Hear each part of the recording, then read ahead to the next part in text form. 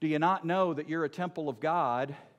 The Spirit of God dwells in you. Somebody says, well, that's figurative. I mean, there are teachers today, popular teachers on Christian airwaves, teaching that the Spirit of God is only symbolically with you.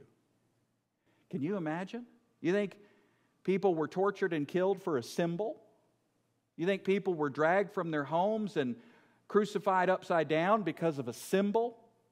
I mean, the early church knew, just as we know, that we are indwelt by the Spirit of God literally.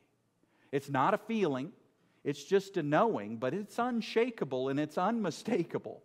I mean, when the Spirit of God lives in you, He bears witness with you that you're a child of God. It's a knowing, not a feeling, and it's literal and actual, not figurative or symbolic. There's nothing figurative or symbolic about the counsel of the Spirit. There's nothing figurative about your victory over sin. There's nothing symbolic about His presence in you